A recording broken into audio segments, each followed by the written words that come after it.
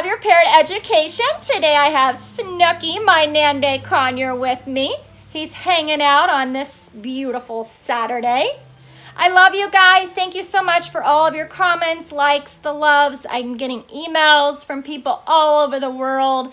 Our channel is growing. And you know what? It's all about you and bird education. You guys are my bird friends. I don't consider you YouTube channel fans or subscribers. You're my friends.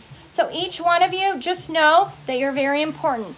Today we're going to talk about something very simple, having a plan in place if you had to evacuate your home. In my home state of Nebraska, last month they had historic flooding. It was due to having so much snow that was melting along with the rain.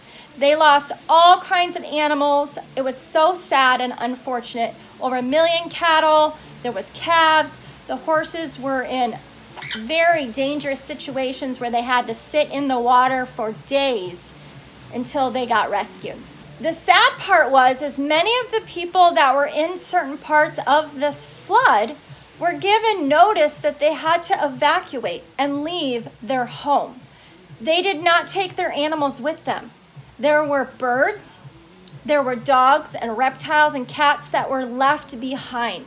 I don't know why. It makes no sense to me why you would leave your animal in your home to die.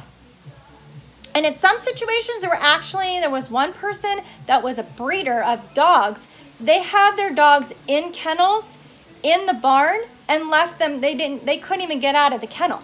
They were just gonna die with, with the waters rising rapidly.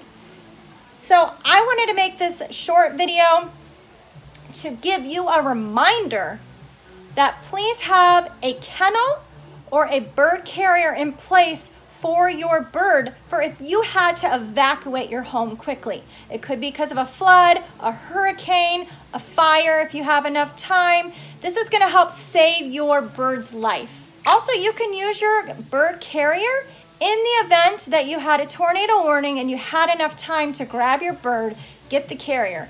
We have a plan in place here at our home that if we have enough notice, we're gonna get all our birds, as many as we can, into kennels for if there was a tornado warning and then we go into our bathroom because we do not have a basement. And you can use the carrier for when you have to take your bird to the vet or in our situation, we do a lot of field trips. We have birds go with us to schools or outings, sometimes our church events. So it's always good to have a kennel nearby.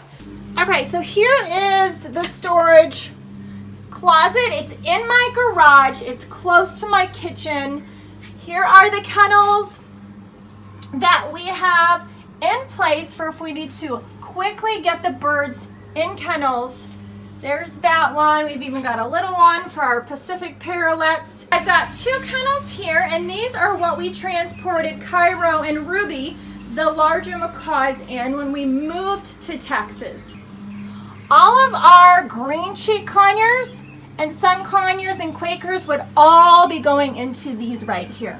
I've also got some bottled water for if we needed it in an emergency.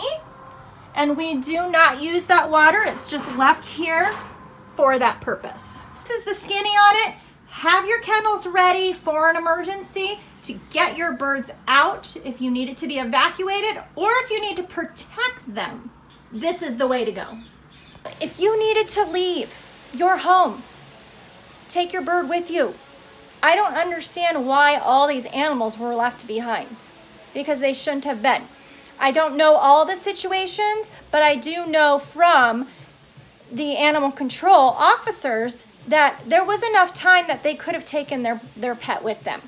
All right, guys, thanks for watching. Comment below. Tell me what your thoughts are. Am I missing something? Why would these people just leave their pets behind? There was a cockatoo in a cage. It just was going to die. Why would someone do that?